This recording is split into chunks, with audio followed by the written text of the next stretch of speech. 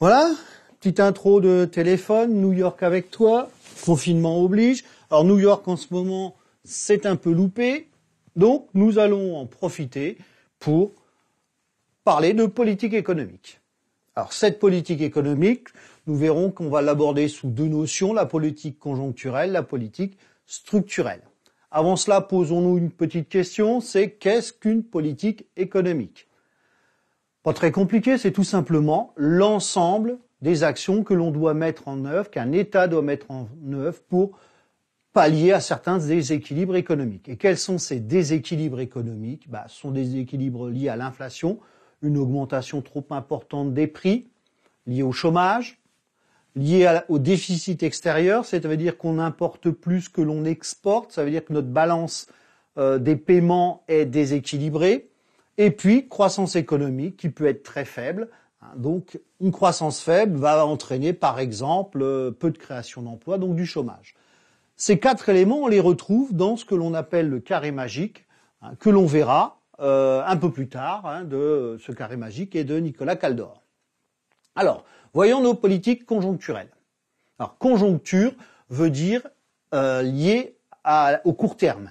Vraiment, on est sur du court terme, sur un ou deux ans.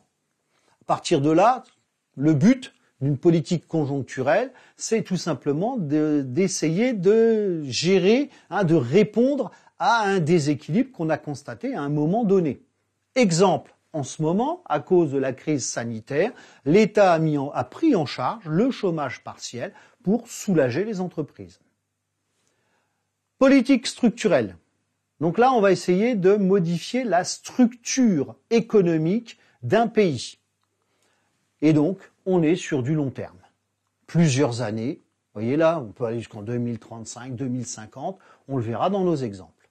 Donc le but d'une politique structurelle, c'est d'assurer sur le long terme la croissance d'un pays, sa compétitivité, réduire les inégalités, préserver l'environnement, chose qui va être de plus en plus importante, et voyez, des, etc. Il y a vraiment beaucoup de possibilités. Ce qui veut dire qu'on va avoir des axes hein, de ces politiques structurelles. Le premier axe est l'axe industriel. Alors, comme exemple, je vais reprendre ce qui s'est passé dans les années 60. Le président de la République de l'époque, c'est-à-dire le général de Gaulle, a mis en place toute la filière nucléaire que l'on connaît actuellement avec toute la construction des centrales nucléaires qui ont, qui ont eu lieu au fur et à mesure, mais c'est lui qui a lancé cette démarche. Donc là, vous voyez, on était vraiment sur des choses qui vont modifier la structure d'un pays sur des dizaines d'années. Politique d'aménagement du territoire. Là aussi, à la même époque, hein, et plus tard après, dans les années 80, ben, on a construit les autoroutes, les lignes de TGV. Donc ça aménage le territoire.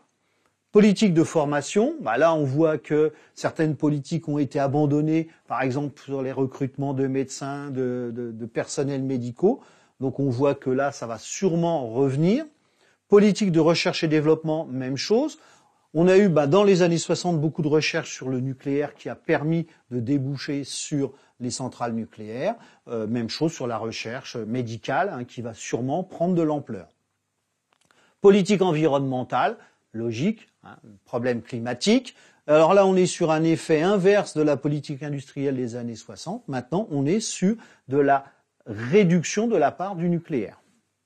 Et puis, politique de santé publique, bah là aussi, hein, on va avoir beaucoup de choses peut-être création d'infrastructures spécialisées dans certains, certains problèmes qui vont arriver, hein, la maladie d'Alzheimer et autres. Euh, par exemple aussi, on peut avoir des vaccinations euh, obligatoires pour éviter des risques de, de pandémie de certaines maladies et autres. Donc passons à notre exercice habituel. Donc je vous laisse réfléchir, il suffit de trouver si les décisions sont conjoncturelles ou structurelles. Alors, décision, construction d'un hôpital.